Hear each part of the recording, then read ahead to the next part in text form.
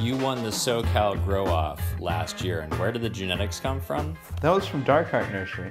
I think it was the grapefruit Romulan. And Then that was the one. But but you didn't know it at the time. No, no. I mean, everybody had their ideas, but we were way off. And how many clones do you get? We get two. It, was- it was funny because when we got there, we didn't have the money order. So to find the money order, we went on a mission walking for blocks to find a place. So by the time we got there, it was it was it was funny because I'd saw Heavy T or Tyler at the time, and uh, this is just before we started doing the the podcast, and uh, it was always fun for me. I think that whole contest was really for me to to see what I could do against him in my mind. So it was, it was a fun little aspect to that. Just seeing him pop up randomly. you get two clones and you bring them back and not knowing what it is how does that affect you in terms of a grow It's, just like being a chef. I, I would consider it. It's like um, I like to cook, and I think that a lot of good chefs out there, you can give them a different stove top, you can give them a different pan, and they know enough to where, like looking at how it's searing, looking at how it's cooking, they already know when it's close to done just by feeling it. And you know, to me, you know, part of being a good grower is experience. So over the years, it's knowing little things like that is knowing the plant structure as it grows i knew immediately it wasn't a very stretchy plant we'll call it um, it was definitely a, a long veg but in that long veg i think with you know different varieties of strains they would grow a, a lot more lankier in that time period which was a nice thing that it stayed so squat because for me at the beginning, I thought the whole contest was based on who can grow the biggest plant, you know, and, and for me it was just I think everybody's mindset in the in I don't know, since like 2010 yield, you know, everybody it was a big thing to hit two pounds of light. And then people were hitting three pounds of light, you know, and it was a big thing for people. So for me, it was like, okay, um, I started out growing big plants originally because when I would have a personal grow, you know, to be perfectly legal, it was six plants in California. So I was like, okay, well, six plants, one plant per light. I got six lights. Here we go. You know, most people are thinking, oh, I'll put six plants under one light. It, it then it became okay. So we're able to to grow and and for me, everybody learns from somebody. I'm not going to say the guy's name because he was a real, I call him Old Man Hickory, but he was a family dude. You would have never thought this guy grew pot. And um, I remember walking into his garden for the first time, and it felt like a scene out of Jurassic Park. Like I've been growing for a long point to that time, and to see somebody growing these monster plants that were just kind of trellised out and just these huge colas, I was just, it blew my mind. And, um, you know, I think when I saw that, I was like, oh, this makes sense. And we started to grow any genetic, one plant per light, and just knowing the veg times of them and how to manipulate the plant. That we just needed to fill that four by four square under that thousand watt, and, and we knew that we were going to get at least a pound and a half to two plus pounds off this one plant. And you know, between two people, we could have twelve plants. You know, and um, it was kind of a loophole for us in a sense. You know, most people, like for me, sometimes like people smoke, I think chain smoke cigarettes. It's not that I chain smoke, but I- love to smoke, just the act of it. So if I'm medicating, I think that, you know, unless I grew enough, it, it wouldn't have been worth it to me to just grow one light and six plants. After seeing this, it just blew my mind. And when I saw the contest, I was like, okay, I've been doing this forever. This this is gonna be easy. So you know, I think that everybody was so focused on the quality and and and, and the the potency and these other aspects is it, it, when it came down to the results because we yielded so much more than even the second place competitor. I think maybe they got a half a pound, and we got almost four pounds off this one plant, which it was cool to see the Colorado contest kind of step it up. I saw uh, even before this contest, a lot of people were really focusing on getting these huge yields off one plant, and um, I think it's really cool that you know for me, most people have always said, "Oh, don't grow a big plant because it wouldn't be as potent as a plant that's smaller." And there's philosophies where people would say, "Well, growing a smaller, more compact plant takes that plant's energy and, and, and puts all of this into one smaller bud, meaning it may be more potent." Hearsay, and um, I know that we stretched it right to the deadline when we when we uh, we turned it in. I think um, even the product we turned in was it was unflushed because it was I, I I think it still needed at least about another seven to ten days before we pulled the plant. But because of the deadline with SC Labs and the, the laws, everybody's hands were tied. We had to do it by the 31st. So, you know, still being able to get third place in potency and fourth place in the terpenes, it was huge to me because I know we didn't finish the plant how we wanted to, but the the yield was just what over three pounds over even second place. I was like, that to me spoke a lot because you got situations like, um, you know, I, I, I talk with people that are in Michigan and having a large full mature plant count stipulation where you don't see that the same in other states. Well, being able to grow larger plants is a huge advantage for people like that because then you're actually increasing the amount they're able to produce as well. Um, so you know, it was a, it was a cool way to I guess show showcase something that I've been doing for a long time, and uh, you know, I've I've been the guy that worked behind the counter in the hydro store, and you're always giving people advice, and uh, I was always that crazy guy that would grow one plant per light and you know, they'd be like, no, show them a picture of it, Drum, show them a picture. And I would show people pictures and they'd just blow their mind that you could do this. So, you know, I think a lot of, you know, what people don't believe is possible is because they've never seen it. And I think the more this competition actually grows, they're going to be able to actually bring people in there with cameras and, and really go into detail about their growing practices. And eh, let's be honest, some people aren't going to give away all their secrets. Um, you know, for me, growing at least cannabis has always been about for what I could do for my sister who who passed away from cancer. You know, at the time we had dispensaries, but it wasn't tested and it wasn't as strict and you knew that there was harsh chemicals and there was things that we didn't even know to this day that were happening that we could have prevented for people to get the cleanest medicine. And for me to do that was to grow it for her. And she wasn't a smoker. Uh, Basically, so you know exactly what's in it. Yeah, absolutely. You know, that it's the peace of mind. And not many people get that experience. You, you get something, we'll call it stepped on. You never have the opportunity to get quality medicine right from the grower themselves right to you. It's very rare for people to have that experience because even in today's date, you have a product that's being produced at a legal, you know, clean facility. Then that product's then being sent for testing. And by the time it's packaged, it's been touched and, and and move so many times that you lose kind of to me that visual aspect of quality that you get when you you actually get it right from the source. It's just like anything that's fresh. There's there's a slight subtle difference that only the people that would know will know. And that's the thing that people need to be educated about. And for me, to grow clean cannabis, uh, you know, I've always wanted to do as clean as possible, and it always didn't make sense to well we have an indoor grow, but we're going to take outdoor elements like coco or soil and bring them indoors. To me, that wasn't necessarily a, the most sterile thing that I could do. As far as a common sense factor to me is I wouldn't take something that necessarily is, for instance, coco coir. They, they let it sit outdoors, it gets heated, they turn it. You know, it doesn't matter, it's shipped around. These are things that are not necessarily isolated to know that that was probably in a processing facility where they have rats running around the floor.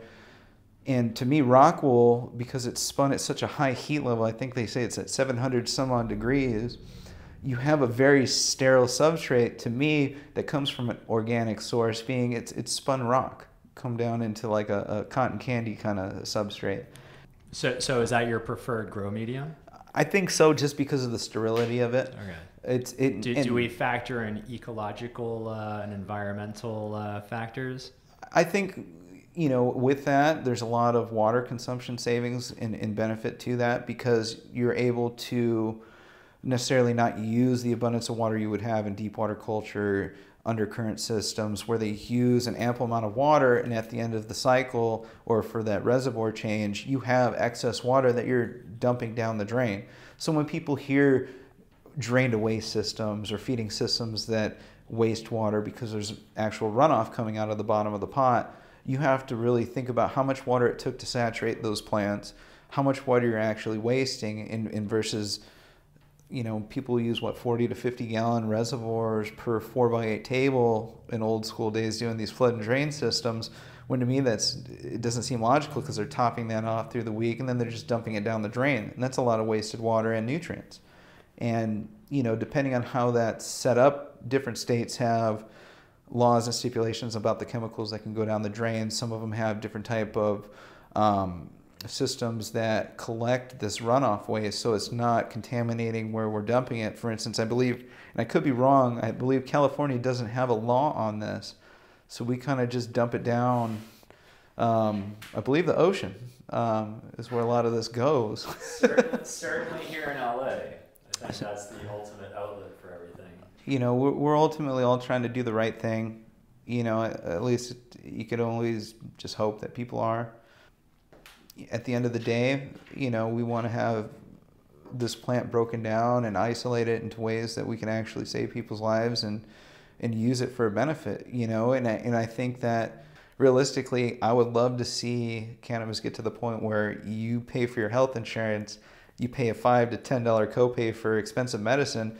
If people didn't have to spend, let's say, two, three, four, five hundred plus dollars a week on their medication going to a dispensary and paying these taxes, you know, and it was worked out that way, I think everybody would benefit from that. You know, for me, I, have always been the person that knows how to do it in my, my head at least the right way.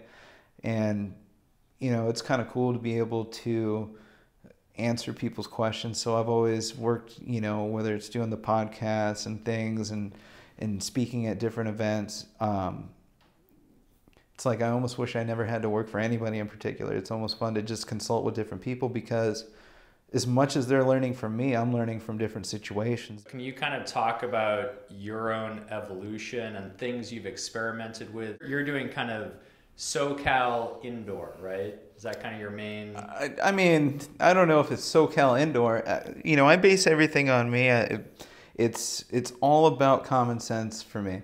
And, and for me to optimize anything as far as plant growth, you don't have to be a scientist to realize the faster you can get a plant to go through the water and nutrients that are in the media itself more rapidly, the plant's going to grow just as fast. So the thing is, is it's always been a being able to grasp whatever system it is. The biggest thing, well, minus like obviously deep water culture and, and, and true hydroponic style systems where the roots are suspended in water, where you have to play the saturation game, whether it's in soil or coco or rock wool you're always looking at the drying time period and the wilting points of this plant and not letting those roots dry out too much to create a lockout. So there's good and bad stresses that you can give to the plant. And for me, common sense is obviously get them to drink as fast as possible, have the most root mass uh, as possible, meaning for me, you know, you look at the different types of potting containers, whether it's a smart pot or an air pot, the whole philosophy uh, for that is a root pruning pot. So the science is is when the root tip makes contact with the air, it causes that to some, necessarily die off at that point and stop growing, but it also creates supplementary root systems that branch out, causing a much denser root system where you don't have the spiraling of the roots choking the plant out at a certain point. And you know you can extend the longevity of the plant's life in a smaller container which with irrigation you know you can obviously cut down on the amount of transplanting i think that's a huge part of you know people using wool blocks once you transplant them from the clone stage they're in the same container till the time they die essentially right.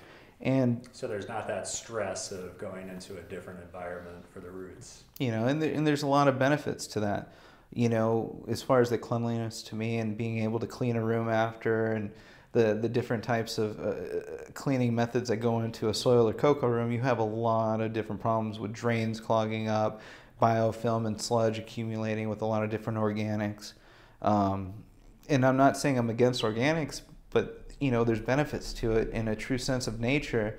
If you're collecting data and you're able to take a plant and take that plant and actually plant it let's say every square inch of the entire earth and collect the data don't return let it do its own thing we're going to see where this plant thrived the most. Collect the data there and try and recreate that in an indoor environment. So with that plants will be able to create their own food whether it's environmental or it's the plants themselves being able to break down the, the foliage or whatever type of forms of compost that are there naturally. And what's occurring there in the soil is meaning those beneficial microorganisms that we create teas and additives to try and simulate. But some of them are actually beneficial, and you take those that are in nature and you try and create a tea to brew those specific species of fungi and bacteria. Well, all these things are just basically chelating nutrients to the plant. I believe in it in any type of environment, whether it's hydroponic or not. A plant having its own sugar production, you know, from its roots, we have cellulase that needs to be broken down by cellulose. So, or I'm sorry, cellulose that's broken down by cellulase. And that's the plant creating its own sugars to feed those beneficial organisms with its own uh, form of carbohydrates we have different types of additives we can add to feed these, which help them colonize at a much faster rate, assuming that the higher colonization rates of these microorganisms were able to benefit the plant by feeding it faster. It's, it's my way of saying, imagine having a milkshake that's really hard to, to suck up the nutrients with a straw and then giving your plant a bigger straw. And, and with that, in turn, you're optimizing all the other elements, whether it's temperature, humidity, lighting and all these things go into the, the benefit of the rapid growth that you see. And um, you know that's why when people are so stuck in one way it, it's it's a terrible thing to see because i think i can get better every day. And the thing is is if you aren't that person searching out these different aspects like for me seven eight years ago telling people about led technology and they're just kind of like rolling their eyes I've been using that technology for years, especially in like a vegetative state. It was always a, a difficult finding the right way to do it in flower, and I never had the success that we have now. But as people are switching over to LED, we see the benefits with that with electrical consumption. We see um, substantial benefits for different um, uh, for instance, like we have DWP here in LA and Southern California Edison, and different states have their different power sources, but they're creating different rebate programs that if we're consuming so much energy with a thousand watt amp, you know, or a thousand watt ballast, and we design that for HIDs and switching to LEDs, they're giving these people huge benefits as far as rebates to pay for these lights. So it's helping the owners.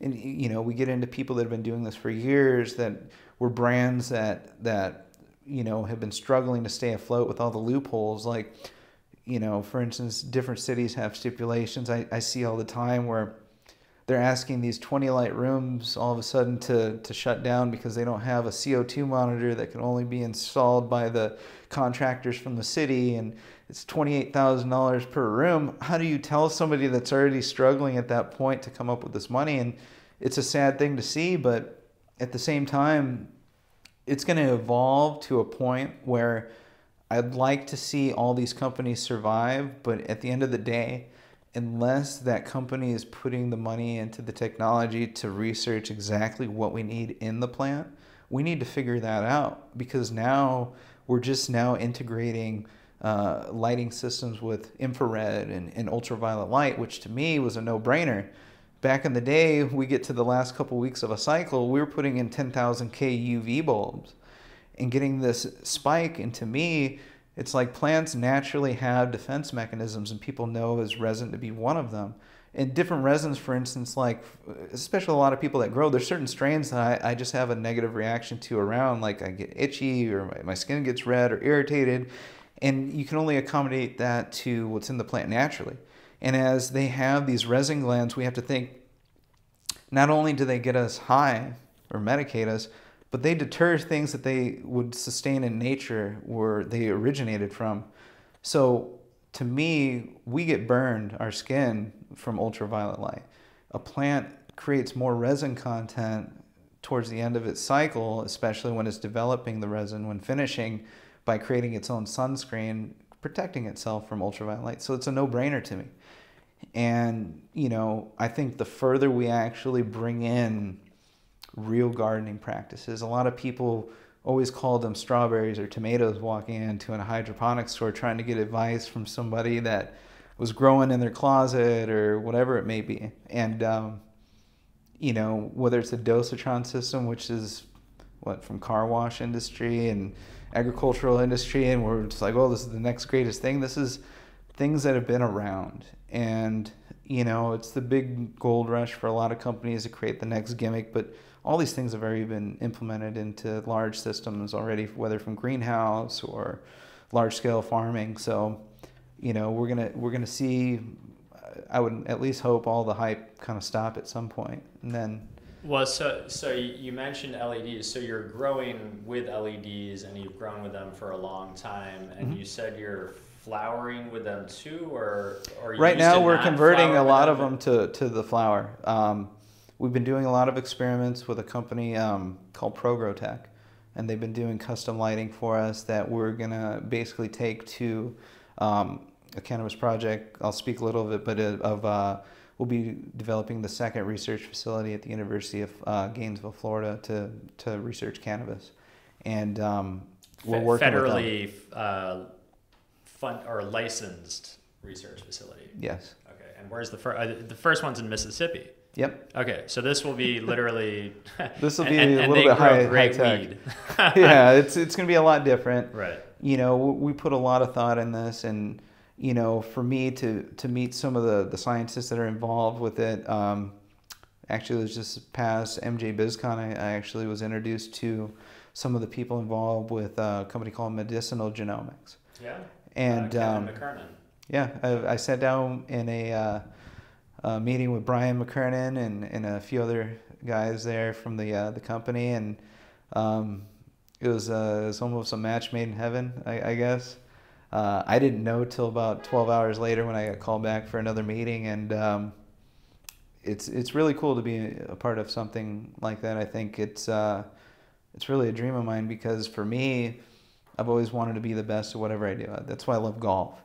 It's you know I always tell my nieces it's like look if you don't like sports but you want to get involved in something, golf's a great thing because if you're good at it, you can get paid to take a vacation and get paid every week. And uh, it's you against the field. It's you, and everything that you do, you can't take away from you that you accomplish. And you know, being able to grow a superior product or you know something that makes somebody feel better, even if you don't hear it, that's a great feeling. You know, it really is. Let's say for the grow off specifically, kind of what was your setup? So it seems like LED lights. Like what, what like are you using? BIOS? Are you using? Uh... Well, we used uh, an LED. So let me explain the process for me. Um, I started out the first half of flower, meaning the first four weeks for me. I just called it a nine week cycle, just in case.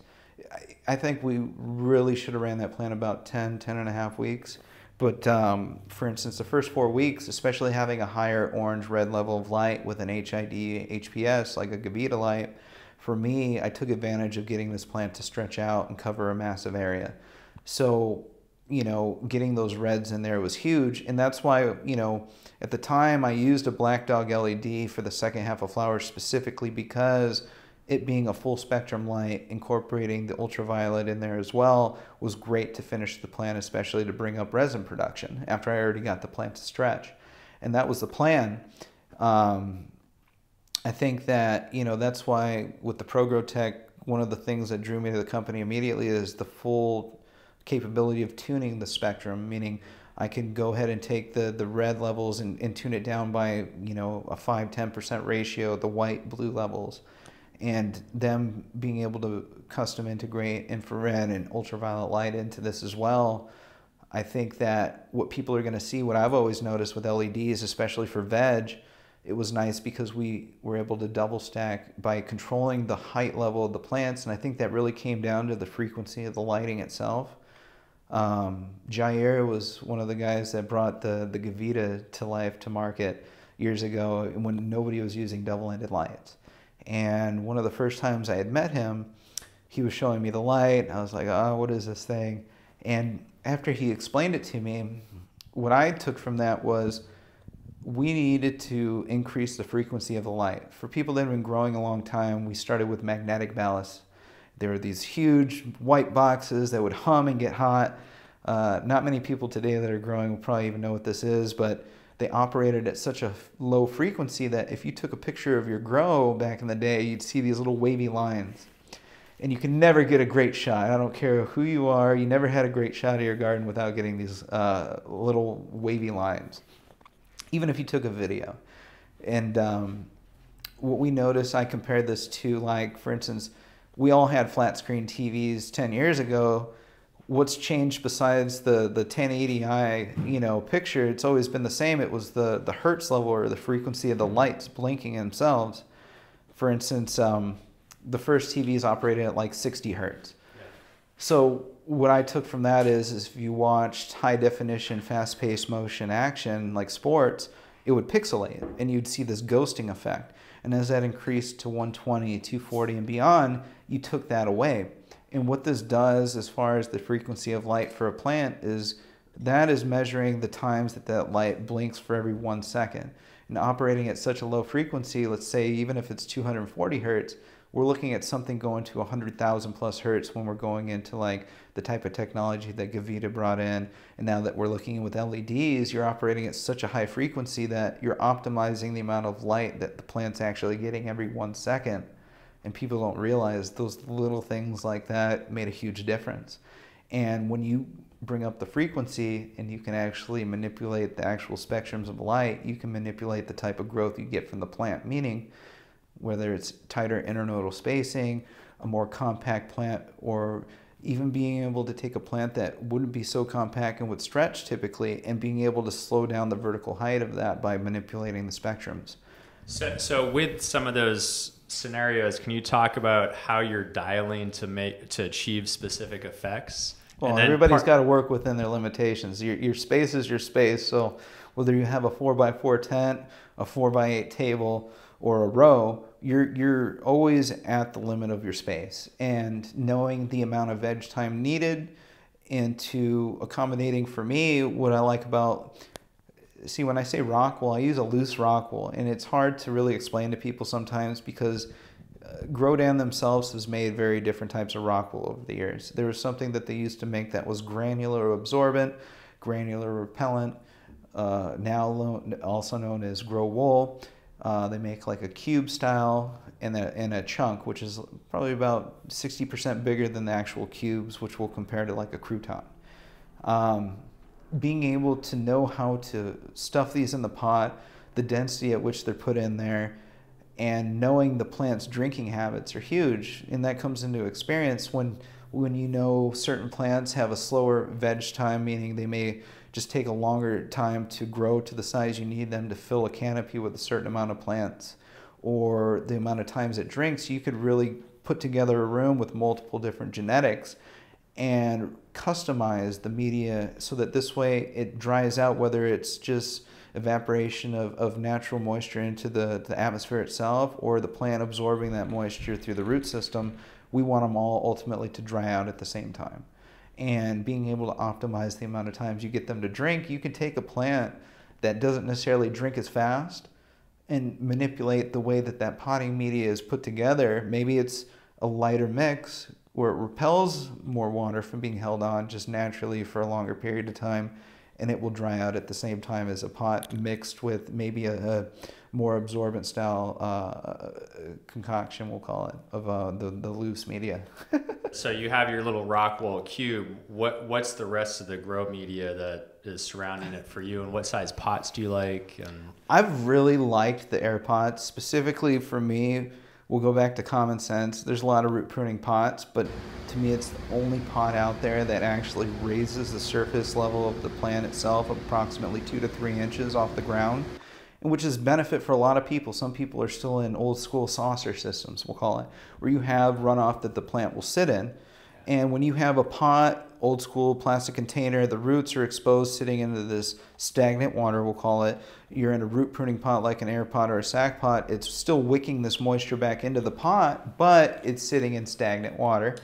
Right. Um, it was a great thing for me. I was like, well, there's multiple benefits. Obviously, if you're in that type of a system, it's not sitting in stagnant water. You see rock wool systems, even with cubes now. There's a lot of promotion of these little screen um, uh, inserts that you put into the tables. To me, is just another headache to clean later, where it's giving the roots more air because it's raising them off the surface of the tray, which this pot does. So there's benefits like that. Um, just the amount of potting media that you use in comparison to a normal uh, setup where you're using coco or soil, it's it's just a lot easier for me. It's a lot cleaner.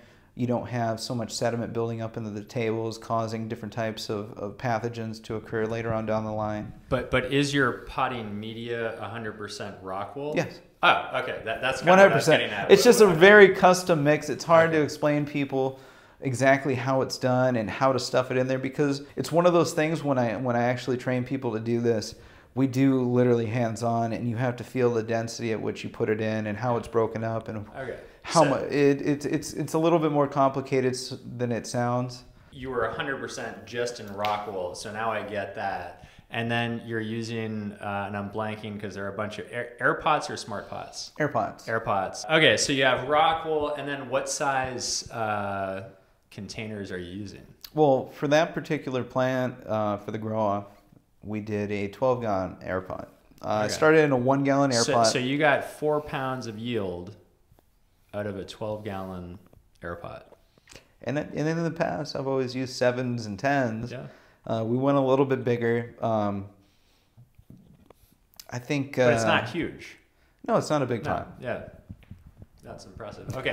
and, and, and then in terms of the nutrients, so for me, I, I, I think of two things. One, I want to talk about kind of your nutrient mix and what nutrients you're using, but then also we've touched on uh, sort of moisture levels. And for me, I think of like trying to keep the roots within a band of moisture. Correct. You know, so you don't want it to like get super soaked and then like It's dry finding the hell that out and then like teetering you don't point want it before- to keep going like blow past the band and then come back into the band, blow past it the other direction. Um, so are you kind of a proponent of frequent small dose watering? Absolutely. Okay. Uh, microdosing the water Yeah. Keep an even saturation or a constant saturation where it's not sopping wet, but it's not dry. And I think that perfect mixture allows for the right amount of airflow to get to the roots themselves as well. It, we, we cut off oxygen to the roots at a certain point by waterlogging them. Water can only sustain a certain amount of oxygen level for so long and at certain temperatures it depletes rapidly even it'll fall out of solution when we're let's just talk about the boiling point of water right at, at such a rapid rate we're separating this but at let's say a level of 66 to 68 degrees we could actually scientifically put the most amount of oxygen within that water and, and deliver that to the plant if you're trying to be optimum we'll call it and then finding those small fluctuations of well, the nutrient takes this long to mix. It takes this long before the feeding actually occurs. The variance of the temperature goes up or down in, in a certain direction depending on different variables. Some people are in cold climates where they have cold flooring. Uh, some people don't have that issue. So, you know, everybody's grow is always going to be different. And I think, you know, there's no perfect way. And, and, I think a lot of grows are, are almost like a, an art because you you get a canvas it's not always the same and depending on now how the city wants you to have whatever aisleway space and drinking fountains wherever and you know you design it based on that to optimize what you can do there and it's always going to be different for everybody. It doesn't matter who but you you develop a good recipe to do that And then what's kind of like your preferred? I mean, are you're doing like drip irrigation? I mean, you're not hand watering the stuff, right? So not on a commercial level you right. So, so so- some of this stuff I want to start exploring more is, is like blue mat tensiometers. They're basically these little carrot-looking tensiometers, and basically they you, you can set it so you kind of have your moisture level you want to achieve, and if it's less moist, they'll release water or water plus nutrients. And if it's, you know, once it gets to the optimal moisture level, it'll stop. So, let, like, let, let's say, I mean, think of an, uh, let's say a greenhouse grow, right? Where you Right. have one end of the greenhouse that's maybe a little more shady, the other end that's hot and sunny, Yep. the air is blowing in one direction. So you're going to have kind of, if everything gets watered the same, You're gonna have you're- fluctuations. yeah, you're gonna have it's damp and moldy and mildewy over here. It's too dry over there.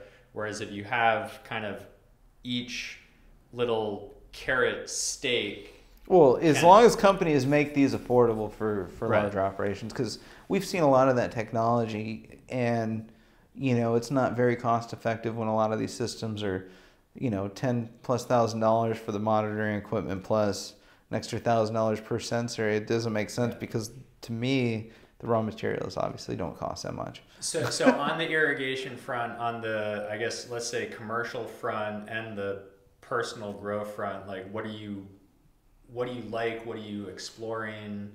you know, every situation is different.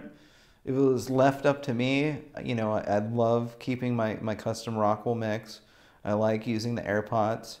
Um, but, you know, it really is, is tailoring to, to the, the grows and specific. Like you said, some people are stuck on their ways. And for some people that are in ownership, to have employees that their success is based on past experiences and being familiar with what they're doing, you're kind of at the risk. And I see a lot of people getting the runaround where everybody's a master grower today. They walk in and they're failing. Like I, I see it all the time, you know. Um, I was a master grower in a 10 foot by 10 foot square Oh. space, and now I'm running a one acre greenhouse. and putting the owners in, you know, into debt and making them feel like they're not going to make it. And uh, at the end of the day, it's it's it's it doesn't matter what you do. It's about how to scale it and be successful. And you know, I think if people will, you, know, you can grow it any way you want. I think at the end of the day, it's what makes you comfortable. And for me, I can't always be there, so I can recommend the system for somebody. And unless they have the people that are competent enough to to see that out this way it needs to be done without any screw ups, we'll call it. You have to put faith faith into systems that will be bulletproof. We'll call it and you know whether that's eh, just simple things like I had a conversation with people the other day about is it better that we go to powder nutrients versus liquid nutrients? And there's advantages to both. I said well you know let's ask ourselves well with the powder nutrients there's a couple variables that could change. Meaning let's say the scale that you're using isn't properly calibrated and or it's reading a certain way but you don't necessarily know if that was calibrated or in calibration correctly which can cause your measurements to be off Two, if you have somebody that's weighing it themselves, you have to look out the way it's you know being done. Meaning, uh, a lot of people will necessarily different products can't be in conjunction. Meaning, an A and B aren't in the same container because they need to be mixed separately. And when you take certain concentrations, when you're weighing out powders, and you put an A in there, and you have residue from the A still in the container, and you have an employee that just fills it back up with B you have to ask yourself, okay, how do we eliminate small issues like that? We go to a liquid fertilizer where it's very simple. We don't have to worry about the consistency being off or contamination of, of nutrients creating a lockout. Um, there's just little things like that. It's based on the help that you have and have hired. Um, you know, from my experience, it's always been best to find people that had no knowledge of the grow industry whatsoever you know in fact i call him my protege but you know one of the, the best people i know in this industry he came from craigslist. He, he knew nothing about growing. His, his he his family was you know not from the united states and barely spoke english and hated that he smelled like weed coming home every day and you know from working in the garden. And and the guy now can you know build an irrigation system for you and do all these cool things. And it wasn't because he was arguing. He sees a common sense factor, I call it. I don't care how you do it, but every situation is going to be a little bit different. Um, you know, and, and, and the thing is, is when you have people that always know what they're doing, they go into these situations based on prior knowledge. There's a lot of science behind this, whether it's the water pressure delivering the, the water to the emitters, the, the, the amount of flow rate the emitters are, the, the actual things that are actually dividing this water out, meaning it's an octobubbler or whatever type of system you have, calculating the amount of water and how much pressure and you know, just even the, the PVC pipe size, all these things matter. And, you know, this is no different from any other industry that's been doing agricultural. It's just now that people are seeing it is less taboo. I think you're getting the people that are real professionals getting involved. And, you know, it, it's going to put some people out of jobs if they don't get out of their mindset of their way is, is the best. You have to open your mind when you were doing the two plants for the grow off, did you just bolt them on as two additional plants of a commercial operation, or was this like at home or? No, this is a commercial operation. Okay. And, and so, so you basically like you know your your commercial irrigation system you just added one for each of those two pots and I originally only planned for a four by four section for the plant. Okay. Just because I didn't see it using very much more than that. Um, and even with that 4x4 section, technically we had about 50 inches almost in, in each direction for it. And, you know, for instance, uh, the plant wasn't a very stretching plant whatsoever. So even by the end of week three, I think I have a video I could send to you where we took the tape measure out and it was already about 52 inches in diameter in all directions, only three weeks into bloom. So, you know, it covered quite a bit of space, but you know, I, I think that going back into this and, and, you know, once we do a competition that involves more of the uh, commercial operations again, it'd be nice to, you know, I, I already have some plans for it, but, you know, I'd like to put, you know, a room together where maybe, you know, maybe we put like four to four to eight plants over one light and, and really make a spectacle out of it. and See right. if we can get, you know, 10, 20 pounds off a plant. Right. You know. so, so all right. So, so that then those two plants were also on the same nutrient regimen as all the other plants in the room. What... Well, I didn't grow them both out. I, I killed the, the second plant through the veg because halfway through the veg I already knew which one we tagged was the all star. So okay. once we tagged them, I didn't need the other plant anyways. Right. So you were talking about liquid nutrients, dry nutrients. What what are you using for nutrients? Are you making a home blend? Oh, are you uh, buying from a a leading manufacturer. Well, I've, I've, I've been very fond of Mills Nutrients for a while, and it really started back in the day where my philosophy was is you're changing the additives to manipulate the growth throughout the stages, and seeing, you know, working in the hydroponic business, I see it all the time. They have a veg and they have a bloom. Why? And for me, I was like, well, they have an A and B that works for veg and bloom, and you're just actually changing the stimulants based on the plant's needs throughout its cycle, which really makes sense to me. And you know, knowing the secrets of the industry, it's like a lot of products aren't necessarily just developed from scratch; they're just rebottled. It's another large ag product that's rebottled and packaged and sold to you for three hundred percent more. Yes. And uh, yeah, because old, you worked in a hydro store, right? Oh, I know yeah. all the secrets. Yeah, yeah. That's that's the sad thing is you know, knowing all that too, it's it's no different from any other industry, really. You know, if people didn't really pay attention so much to the marketing and hype of certain items and really looked into the actual products, they'd see that this is really no different. Um, it's for instance, uh, you know, I could be wrong, but I'm pretty sure the DuPont family and stuff like that owns several different entities of products all these different companies that are large manufacturers own so many different products that we would never realize it's all the same company. Right. So if you're against one, you should be against them all. You know, everything gets like that when you perfect it. Somebody perfected a nutrient to the point where they could sell it to large scale farmers. My hat's off to them because if they're sitting there buying liquid fertilizer at our prices in this industry, we wouldn't see farmers using any of that stuff whatsoever. Right and, and is there anything else you're adding in at various stages of the life cycle? I do a, a, a weekly tea regimen. Okay. I do my own teas. Um, I have my own IPM that I integrate into the, the plant cycle, whether it's just for Pre- preventative. Preventative, and you know, we, we talk about responses in the plant, and I don't want to give out too much information about what I use, but just just to put it out there, there's something called systemic acquired reaction in a plant. And what this really is is how do we tell the plant that it's under attack? Just like a human body has its own immune and defense system and everybody's is, is better. Some people have better tolerance to getting sick than others. Plants are the same.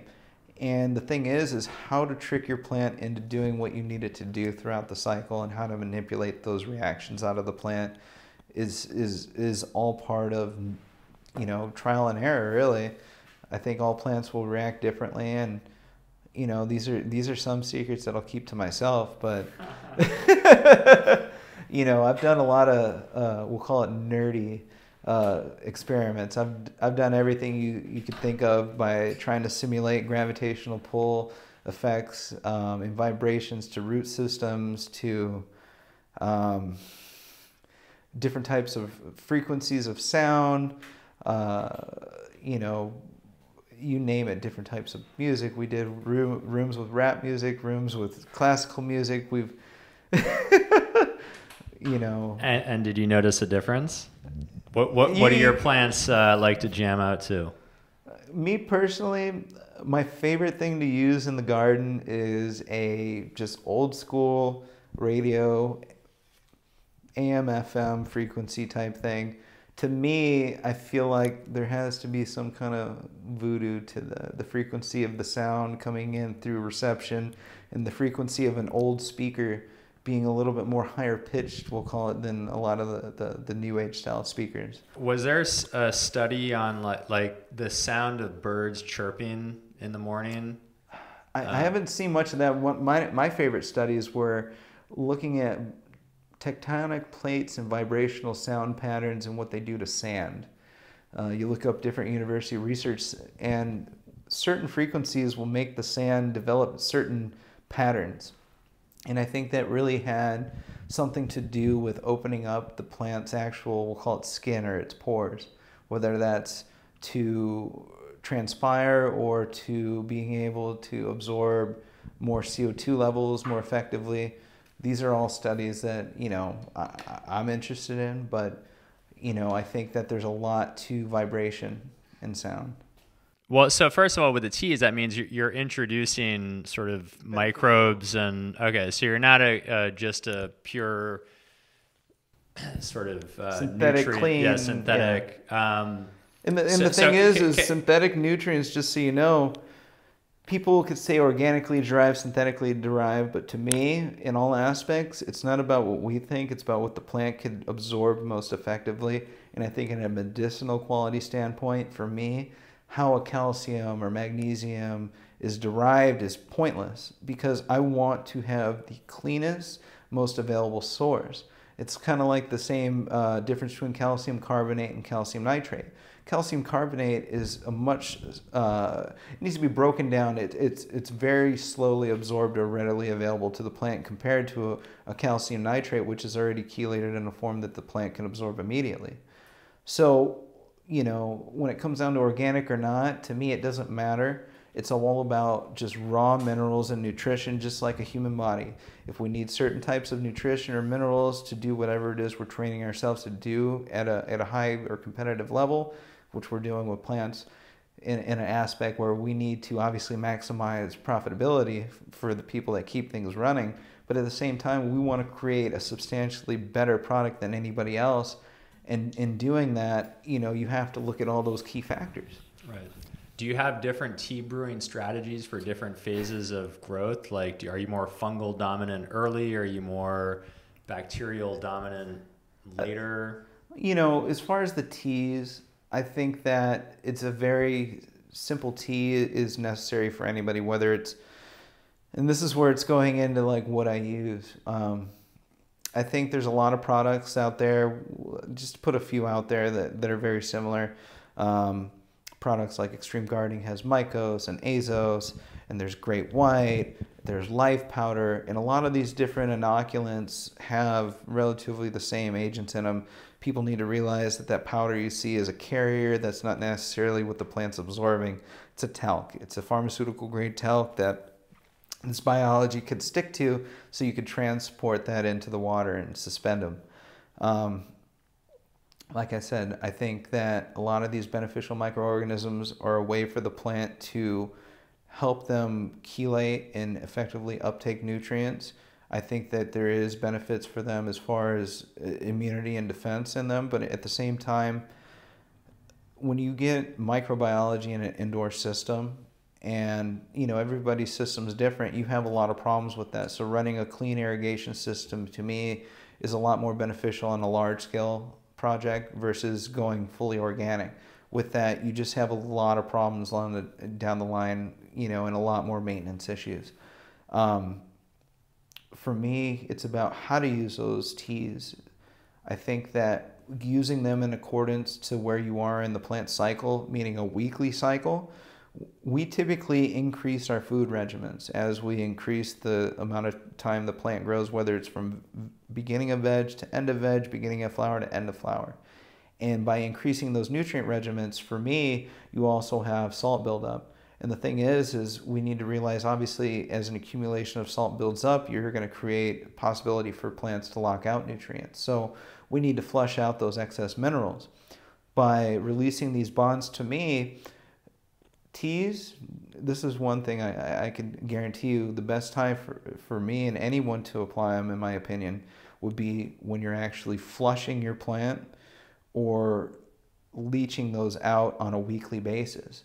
Because what better to have these beneficial microorganisms that are in there that could help chelate and break down these minerals that are accumulating, and we're not having to add food at that point. So, you know, in a large scale agricultural project. You're going to have to, in my opinion, I always like to splash these on top of the plants, not running them through the irrigation. So we'll have somebody that goes through and literally hand feeds tea, you know, and we're talking about a microdose. So it's not Are we talking like foliar or into the rock wool? Into the into the rock wool itself. Okay. Absolutely. Um, you know, and, and being able do, to do any foliar spraying? You know, as far as foliars, um, one one good tip I could say is depending on your situation, um, there's different technology that I've been able to incorporate now to cut down on some of the uses for different types of foliar sprays, whether it's to prevent different types of fungal or different pathogens from attaching themselves to the plant. So everybody's environment's going to be a little bit different. I think a lot of people are getting more into the preventive aspect of knowing that your room may look clean, but you bringing in outside contaminants is huge. So having a, a good practice of making sure that you don't bring them into the grow in the first place is critical. Um, as far as you know, with large scale grows, it's hard for people to to say we're going to have these things hand sprayed. A lot of these systems, big systems, are a beautiful thing. They're so automated. You have track systems with fogging machines that will literally spray whatever you need to spray when you need to spray it. Um, some people, like for instance, that actually manually apply these, you know, great ways to cut down uh, on the amount of, of application rates would be to atomize this or, uh, you know, use paint sprayers a lot of times. And meaning you can have a little bit go a long way instead of going through five to 10 gallons, you may go through one to two gallons of foliar spray, depending on what type of application you're applying it for. But getting down to the, the application of foliars, I like it throughout the veg cycle. I try and not do it past maybe week three or four of the bloom cycle. And even in that, it, it really depends on the situation. If you know you have strains that are finicky, meaning that they are a little bit more prone to pathogens or mold, then yeah, you have to keep a, a regimen of, of different types of chemicals, we'll call them, whether it's uh, something organic like a um, I think Marrone was one of the sponsors. So they, they make products from Regalia, Grandevo, Venerate, all products that I use. Um, you know, there's other great products out there that necessarily would kind of contradict that because let's say you use something like a plant therapy that has alcohol, you know, and, and um, different types of uh, extracts in it and citric acid you can't necessarily apply that to something that you put beneficial organisms with. Say you're spraying a fungal dominant tea, you're not going to spray plant therapy right after. it's kind of pointless. Um, so it just depends on what microbes. you're going for. You know, and, and a lot of people, you know, with a lot of different ap- applications, whether it's the type of uh, protection equipment, whether it's the respirators, the protective clothing, um, being able to simplify all those practices for people is, is is one thing that everybody's getting better at. And um, I don't. It, it, there's no perfect way to do it. Everybody's situation's different. Um, and like I said, it also depends on the people you have that are actually doing the applications. Right. So, getting back to the initial uh, grow off topic, so you basically you didn't it, it, was almost like an iron chef competition where like you ran out of time obviously i'm sure everybody felt the same way where it's like oh if i could have just done that one last thing well they did originally give us a date that was further out but because of the law change it was out of their control so even though we properly planned our schedule to pull right. down on a certain date it was out of our control at that right. point what ultimately i forget you said this earlier but what ultimately was the strain uh, grapefruit romulan Okay. Describe what you saw at the you know as these you know buds started to develop or you you you kind of had a general sense of what it was well i mean i had my guesses. It was a sweet smelling plant. It put it this way it smelled a lot better growing than it, it smoked. I, i'm sad to say it but i call it the boofy kind of a boofy strain. It's it's it's nothing special about it. I think that there's a lot of strains out there that are nostalgic for very different attributes of it, whether it's the color, the smell, the taste, the high, the effects of it. And, you know, we can joke about it. There's strains like Blue Dream that people will be like, oh, get that out of here. But people loved it.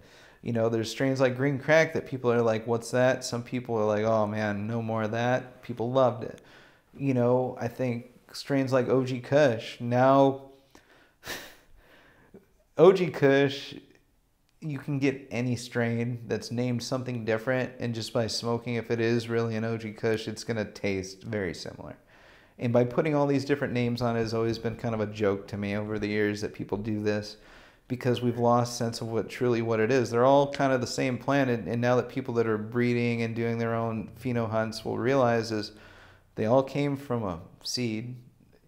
They're all very different, but they're similar and we get different types of attributes out of different phenotypes, meaning the structure and the way that the calyxes grow, the structure of the leaves and how they form, the amount it yields, the potency of the plant, how tolerant it is to environmental conditions and or different types of attacks from mold or bugs. Um, you know, and being able to hone in and I think that's where tissue culture is a great thing where we can not only clean up strains that people have damaged over the years by using toxic chemicals that in some cases that were out of our control. I make the comment people complain about Eagle 20, but they use spinosad. Spinosad was labeled organic, but it was a neurotoxin when in, in combustion to, to inhale. So that was organic. It was labeled organic. You can still buy it as organic. So when people say organic's healthier, sometimes I'm like, well, is it mercury uh, organic? you know, there's certain things that'll just kill you.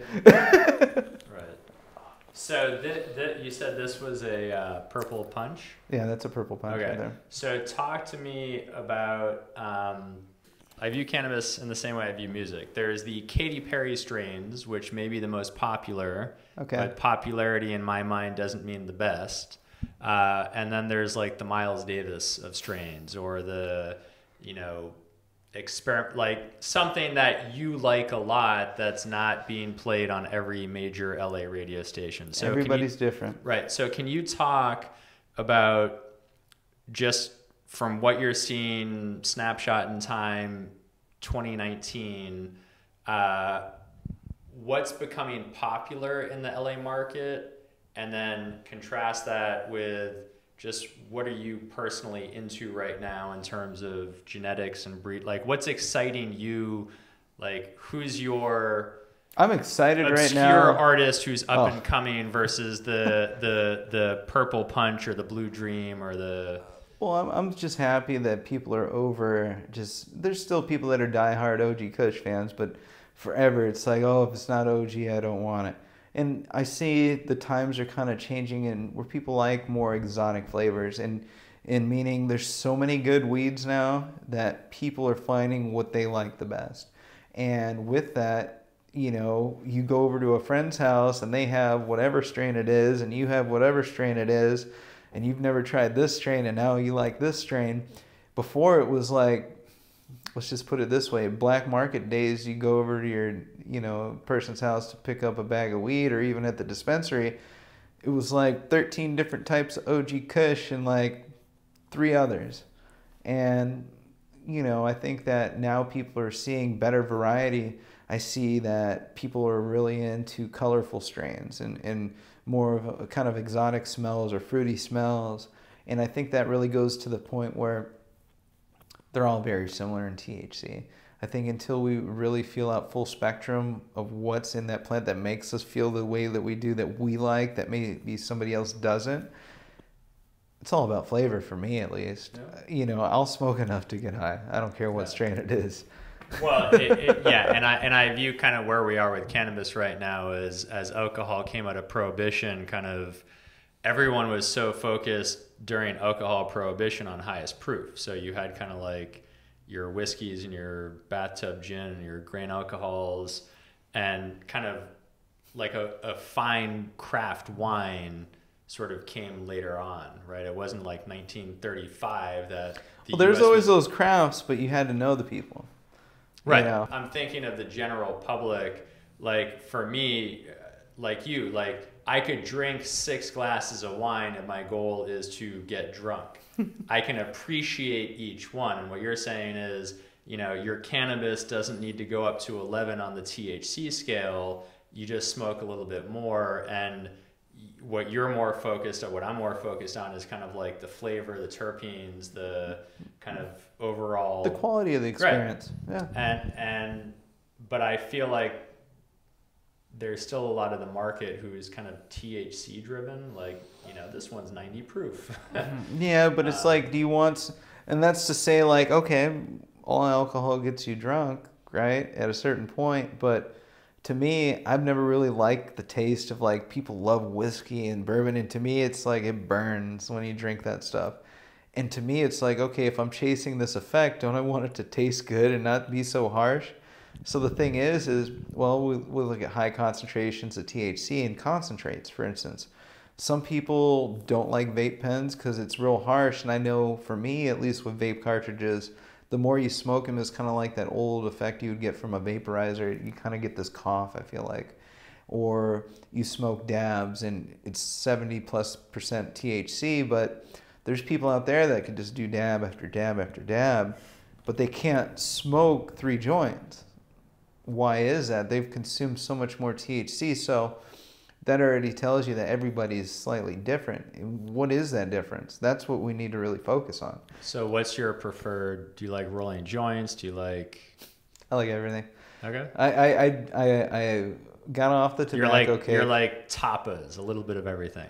Well, you know, getting involved with different companies and just getting involved into the testing process. Like a lot of people don't realize. Like I had an argument today with somebody. I was like, look, papers, blunts, hemp wraps. To me, the ultimate goal in life would be to smoke weed wrapped in weed, and it doesn't change the flavor. How how do we do that? That's what we need to do because. In a real, real health aspect, is it really healthy to smoke paper? Probably not. Whether it's rice paper, hemp paper, any paper. How about kombucha paper, which uh, is now on the market? Well, the thing is, is all these things have a subtle taste difference, and it's like the same argument with people be like, "Oh, I only smoke with big lighters." Well, it's because you like the taste of the the lighter fluid.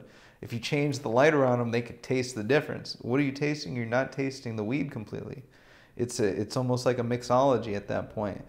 You know, even if you go into like a hemp wick, you know, it's like even hemp wicks have their own certain flavor profile. And when you put them out, you're smelling this kind of burnt smell in, you know, at the same time when you're trying to inhale your weed.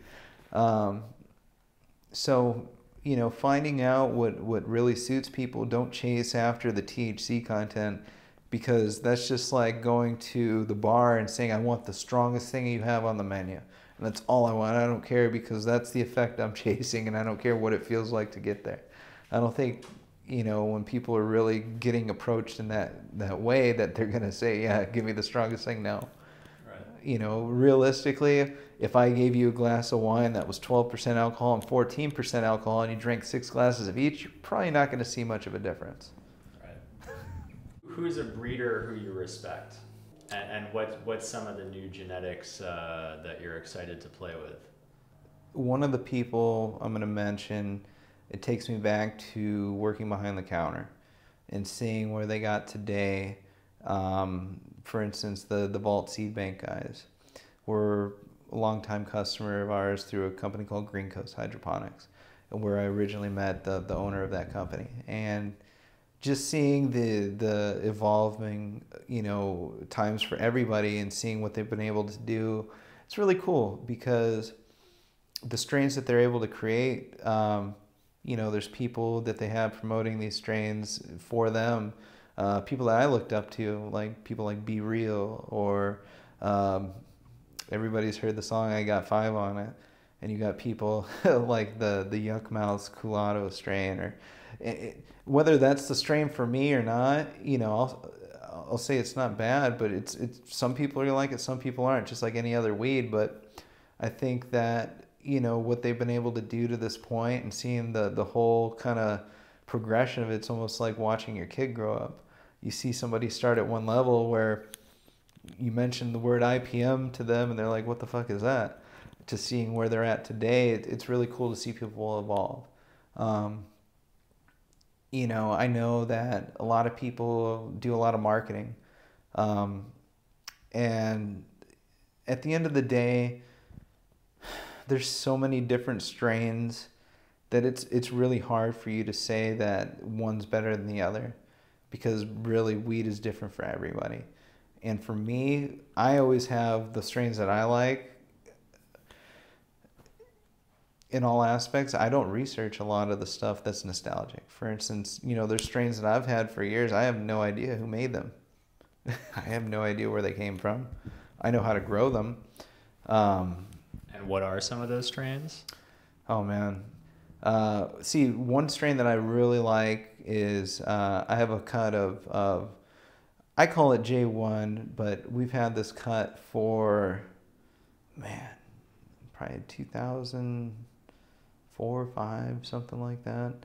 Never really had a, a long term mom of it. It's always been cloned of cloned, and um, this is something that we were given at a uh, Orange County NORML meeting at uh, a long time ago. I got the privilege of meeting Jack Herer and I mentioned that I loved the strain so much. Somebody that was there with him gave me a plant of this uh, years ago, and um, it was always a fun plant to grow. I've always liked the taste of it.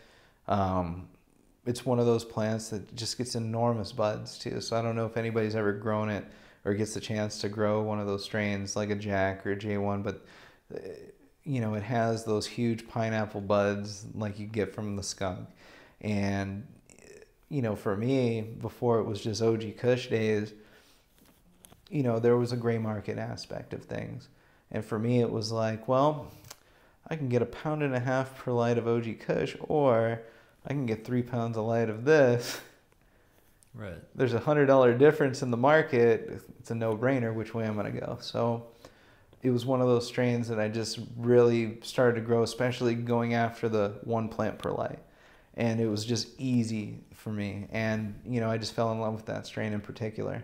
And I think that you know, going into a lot of strains today, I get a lot of that like it, it almost gives you that hint of kind of like where you get that tangy smell or there's certain aspects to the smell that I, I get different aromas from it all the time. It's it's a fun plant to grow. And um, you know, besides that, I think um, I have a new strain that we developed. It was a cross of uh, OG Kush and uh, Cookies and Cream.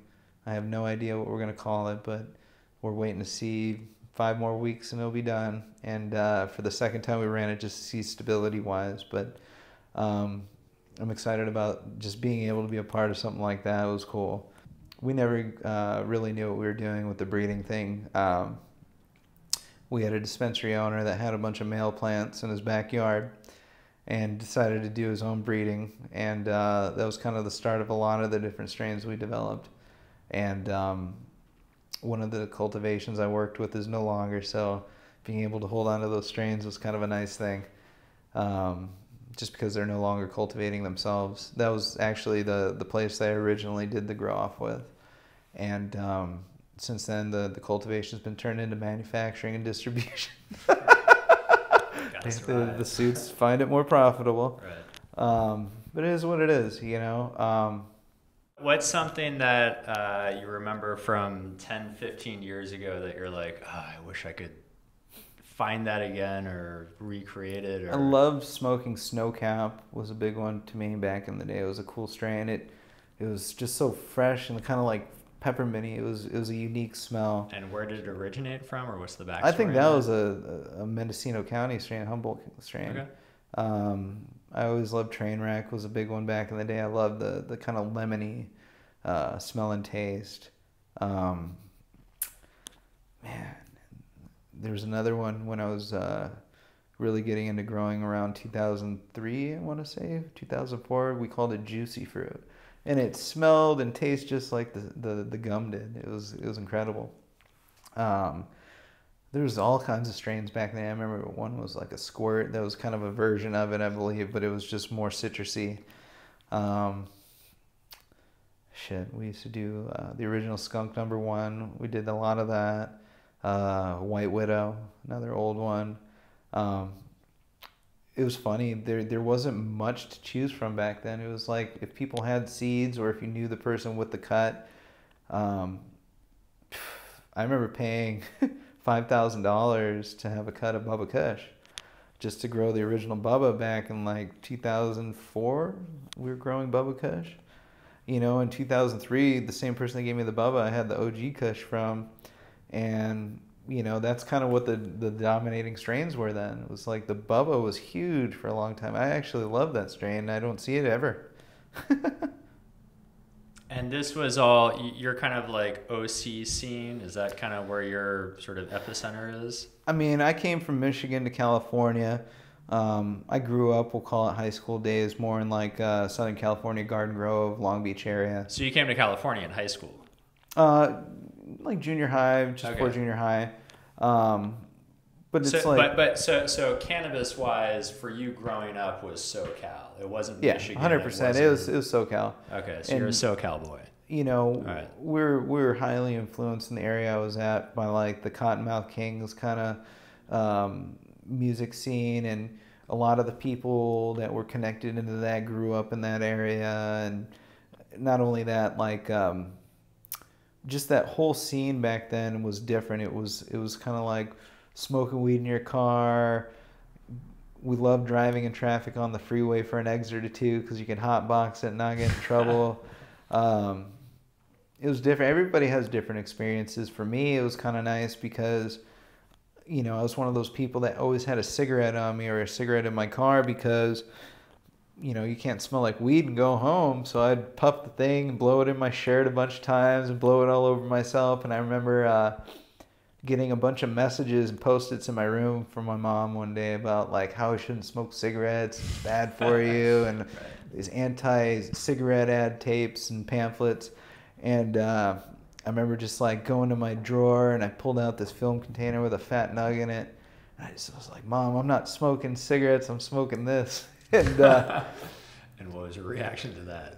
I mean, she was happy actually. Like, she'd rather me smoke pot than drink alcohol. It was more like, look, if you're going to be doing stupid stuff like that at this age, don't get in trouble. You know, don't let your dad see that you're smoking pot, obviously. Um, but you know, I think that was the the start of having a good education about it for me is being open and having somebody you could be open with at that point of your life because I mean my my parents, my mom, I just her and her sister were groupie hippies, you know, went to Woodstock naked type shit.